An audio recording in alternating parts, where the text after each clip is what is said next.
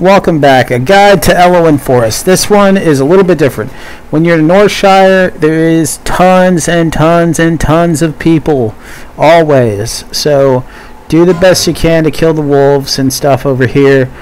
When you get over here, I would suggest not doing the um, Defias Brother, the, the head quest. You got to get a kill a guy over here, I would suggest not doing it. Just getting the grapes and the stuff, get, doing all that. Come down here. I don't remember the leveling over here, but um, it shouldn't be too difficult.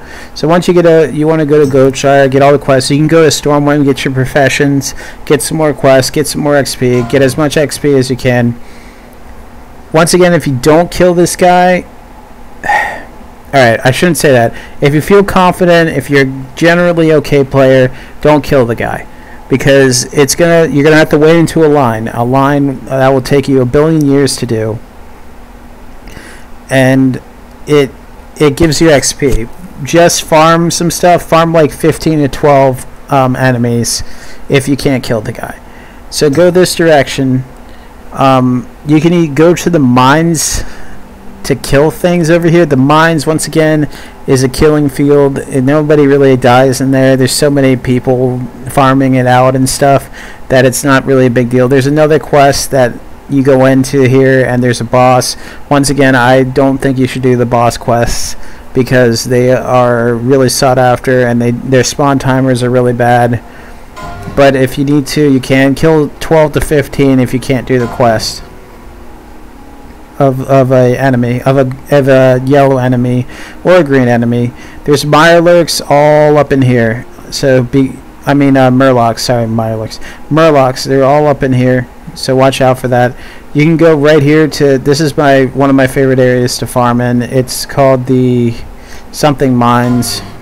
It begins with a J. But come over here and uh, go this direction. Be very careful. There's wolves over here. There's big wolves over here. So you just want to come over here. I kind of stay on the outer side of the area because it's easier to just farm co uh, kobolds over here. And uh, once you got, there's a quest to go in here. You just got to go halfway. Usually there's a lot of people over here, so you'll be fine. Alright, so after that you want to go down here. Princess is over here. I would suggest not even doing Princess, to be honest. I skip Princess all the time. I do 10 to 12 um, kills after that. Uh, but there's wolves, white wolves, big wolves, all up in here, and bears that you need to kill. And right here is where I like to do, I like to do logs. I like to get logs right around here and it's pretty easy. And going down here is young bears and wolves as well if you need to kill anything. Over here is Defias Brotherhood stuff is red red bands.